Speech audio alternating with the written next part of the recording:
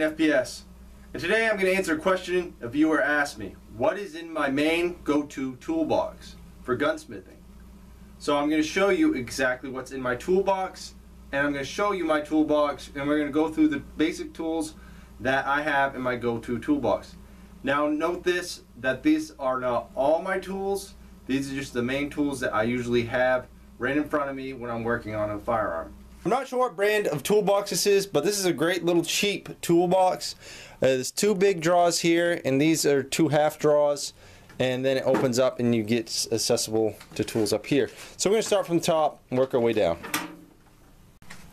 Alright, so first off we'll go on the list is uh, my ESS ice glasses. These are military issue glasses, but they make very good eye protection. They are actually ballistics rated. You don't got to go so far with that. I got a level for leveling scopes and whatnot. Uh, DeWalt bits right here. They're in the case. I can take them all the way out. I got needle nose pliers, regular pliers, uh, AR-15 uh, armor's wrench. Uh, I got a bench block for AR-15. I also got one for 308 AKs, so on and so forth. But like I said, these aren't all my tools. These are just my most common tools. And that's another thing for um, the upper part of the AR-15. And this is kind of unique. This is a barrel clamp and uh, another upper in a different style upper uh, block there that I'm not going to show you. Got a bag of steel wool. That's always a must. Yeah, and I'm. I guess it must be weird because I guess I've never seen anybody use this before, but I use it for my toolbox. It's good, rugged, and it does the job. It holds the liquids. Comes with a Russian cleaning kit. It actually is split in half, so there's two compartments. One of these compartments got CLP. The other side I got solvent. So that way I have best of both worlds right here in this little can. So alright, let me set that up here. Uh, in the back I got all the cleaning rods. Uh, this is aluminum ones and brass ones. I don't recommend steel ones. But yes, I got more aluminum ones, a big stack down there. And then this is a threading tool if I need to thread a barrel. Um, this is some frog lube. Now this is um, specialized cutting oil, and this is a uh, Loctite uh, stick, anti-seize, and this is very good for uh, so that your AR-15, when you put it on the barrel, it won't gall, but it's also good for other threads as well. CLP, bore cleaning compound by JB, and then I got Breakthrough, my favorite grease, and now these are just all the little mini AK tools, the small AK tool parts that I have for building AK. Underneath is another case. That's the case right there. That holds all my uh, all my dies, so that way I can throw the barrel. Now on this side, we got everything from cleaning degreaser, perma blue, walnut stain, Tru-Oil, and stock and sheen conditioner. Now I don't really use these a lot. I have another bluing uh, solution that I love to use. Actually it's right here. Now this I can recommend. This is really good. I just threw that in there because it's just like a backup. But this is what I really use. Is the Black Magic by Cleanbore. The this bluing solution is amazing. It's a very good bluing solution. And they used to have it for just for certified gunsmiths because the it's really potent as you can see, there's a little skull there. This is poison. Um, but yeah, definitely wear gloves with this because this will give you cancer if you don't wear gloves. All right, and in here, I just you know I, I got some uh, universal.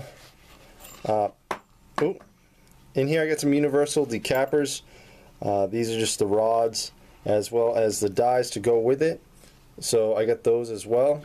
I got two of them. So that way if I break a rod and I accidentally run into Berdan, I got extra extras, universal ones, to uh, pump out that primer. Underneath here, I'm going to set that up there for now. I got a cloth.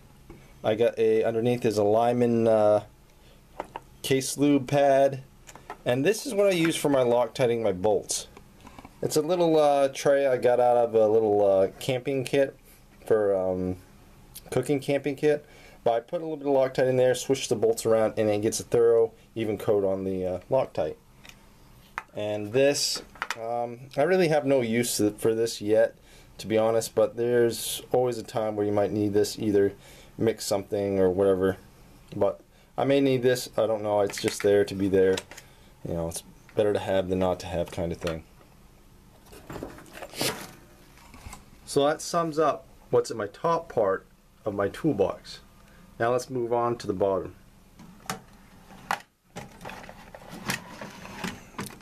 Alright, so this is the bottom.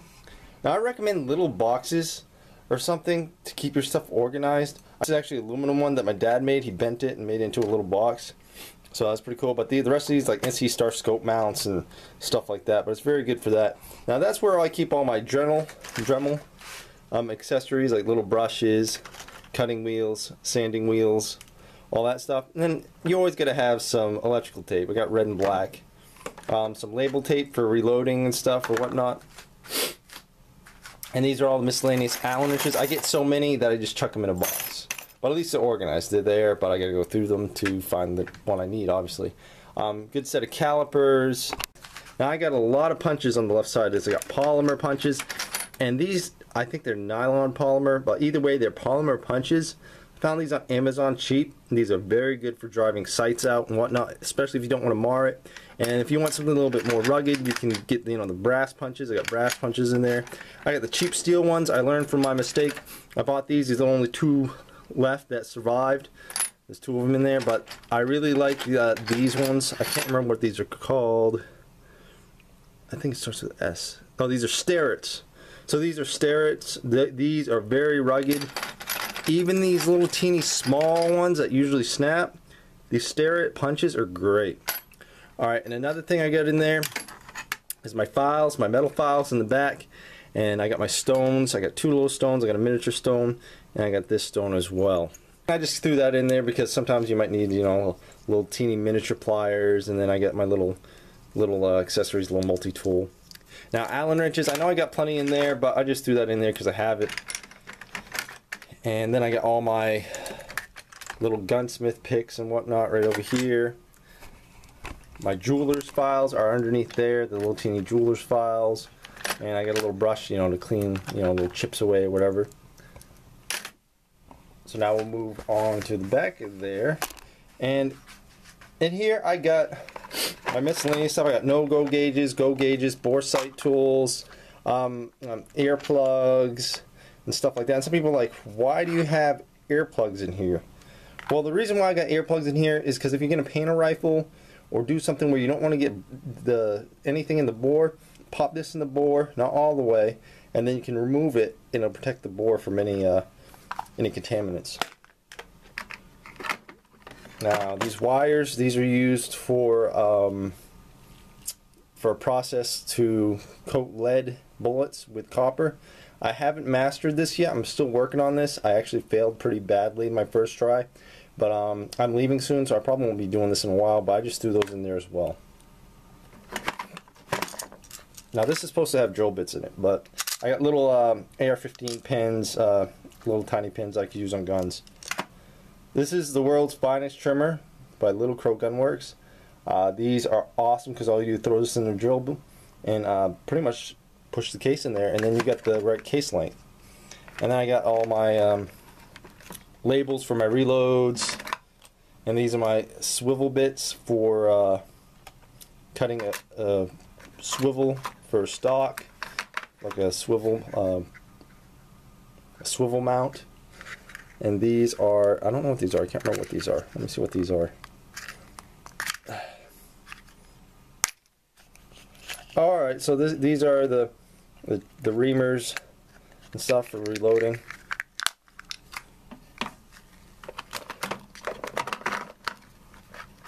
Another thing in here that I got that's supposed to be there, but it's right beside my gunsmith case, is this is, I usually have problems loading 223 due to the case length. So I got this, this is a Lyman gauge for 223. So that way you can ensure that you're getting exactly the right length that you need on your reloads. So that pretty much sums up what's in here. Now let's move to the upper drawer. Now this upper drawer, uh, I'm not going to open this up, but these are all the cleaning bore brushes and whatnot that I have in here. Uh, these are. Now, if you, as you notice, my cases, this these cases, this case was originally for chokes for shotguns. This case was originally for a Lyman, I believe, die or something like that. Either way, something. Um, but I use, yeah, there's not much in there, but those are for the bullet pullers, the little um, size for the bullet puller. So I try to use cases recycle.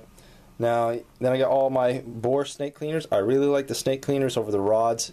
If I can use snake cleaners over a rod anytime, then I'm going to use it. These are my AR-15 cleaning brushes. Uh, like I said, those are my regular brushes, but these are my AR-15 ones. I try to keep them clean. Uh, these are all my patches. And then my microfiber towel rag. I got a few of them, but that's just one of them there. I even got one down there, but that's a little dirtier one.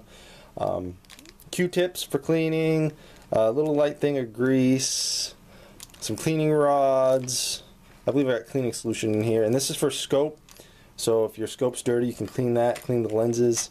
Uh, little teeny adapters for running cleaning cloths through, extra brushes, and that. And then I also got two main brushes over here. I got one for oil, it's marked oil, one for cleaning. So Red is for oils and green is for cleaning. And then I got miscellaneous brushes down there, different sizes that you know came with my guns or whatever.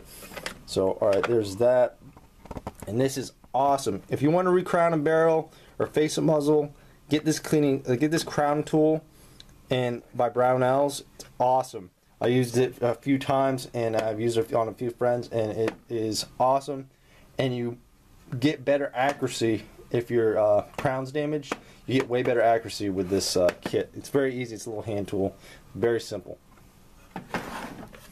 Alright, now we're going on to my upper left drawer. Now this drawer has my checkering tools, my X-Acto knife, a uh, little lighter, bore sight, my Glock front sight tool, um, some more brushes underneath, and then I got a box cutter. And that pretty much is what that is what's there. Now for my right side drawer, Alright, for my right upper drawer, I got these oil-based pens. Now these pens are very, very awesome. Um, the military actually, use, actually uses oil-based pens to write on like buttstocks and numbers and whatnot, and it actually stays on there because it's oil-based and it can take anything, mud, dirt, all that stuff. Very good pens. But I also got touch-up pens, front sight pens by Birchwood Casey, um, so on and so forth. And I even got underneath here I got some Hornady uh, primer sealer that you can use around the bullet and the primer. So if you're uh, you make reloading some hunting rounds, it may be raining, that's definitely a must. I got some chamber flags here. I got a yellow one, and an orange one. Uh, then I got a um, some Loctite, blue Loctite. I believe that yep, green Loctite as well, and some JB Weld. This is high heat, and then I got my bore bore light back here. It's just one cheap. It's a Avid bore light. It's cheap one, but what I found is Avid tools are cheap, but they last a long time. I've had that since I've been gunsmithing pretty much. And um, this is a, just a screwdriver that you change tips out of. Here's all my little bits in this little Altoids can. I got all my bits in there. So, like I said, recycling and using whatever you can, it makes it much more organized in here. So, alright. So we got that. And now we got a smaller flathead, Phillips, and a bigger flathead. So that's pretty much what is in there. That is pretty much what is in my whole toolbox. So thank you guys for watching. Have a nice day. And I hope you guys enjoyed the video.